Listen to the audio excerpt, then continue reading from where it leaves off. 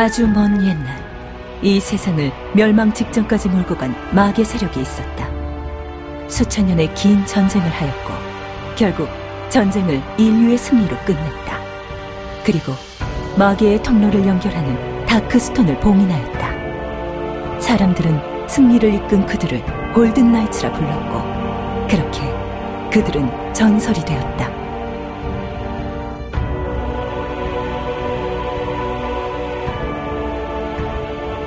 다크스톤 봉인으로부터 수천 년이 흘러 2259년 인류는 지구의 운석 충돌로 인해 대재앙을 맞이하게 되었다.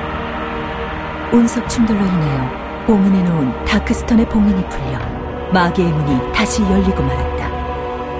이 대재앙은 마치 인류를 심판하는 것처럼 모든 것을 앗아갔다. 풍요로웠던 대지를 격변시켰고 인간의 모든 것을 앗아갔다.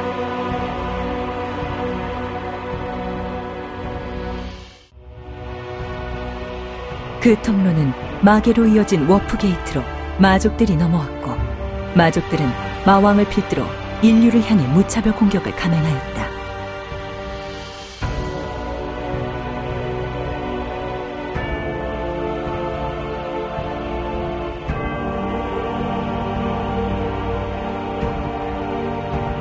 그들의 기세는 눈앞에 있는 것을 모두 짓밟아버리는 거인과 같았다. 마왕은 세계를 빠르게 정복했고 인류는 무력하게 쓰러져 갔다. 결국 인간은 자멸할 수도 있는 핵을 사용하기에 이르렀다.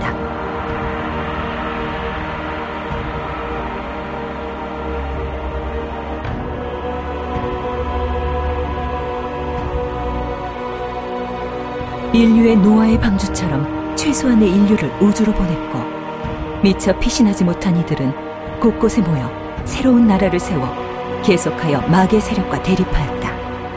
하지만 핵전쟁의 결과로 수많은 생물들이 방사능으로 뮤턴트라는 존재가 만들어져 전쟁은 더욱 혼란스러워져만 갔다. 수백 년간의 전쟁을 치르면서 서로 지쳐갔고 수많은 변종들이 생겨나기도 했다. 그리고 결국 두 세력은 휴전 협정을 통해 종교를 짓는다. 휴전 협정으로부터 약 천년이 흐른 어느 날 신성왕국의 비보가 전해졌다. 둘째 공주인 샬롯이 마족에게 납치를 당한 것이다. 납치된 샬롯은 마족에게 세뇌당해 기억이 지워지고 마계의 세력으로 변하였다. 현 국왕 알렉산더 퀸트는 공주의 수색을 명했고 이는 휴전 협정이 끝나는 방어세가 된다. 대지엔 다시 피해 바람이 감쌌고 멈췄던 시계바늘이 다시 움직이기 시작했다. 왕은 둘째 공주 구출과 다가올 위협을 대비해 전설의 기사단을 다시 결성하고 과거의 전설을 다시금 일깨우기 위해 그 기사단을 골든 나이츠라 칭하였다. 인류의 희망을 품은 기사단의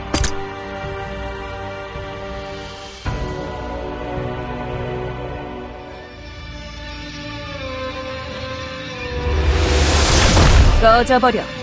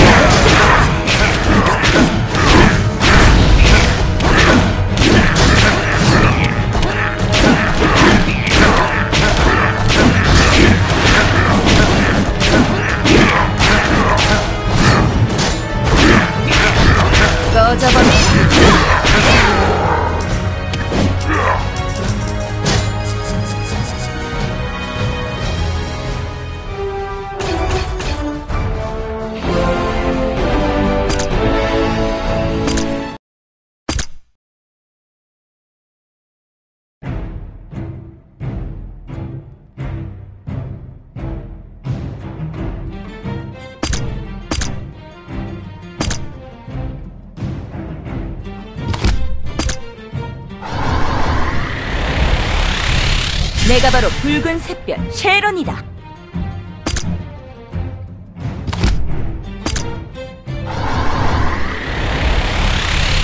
왕복의 영광을 위하여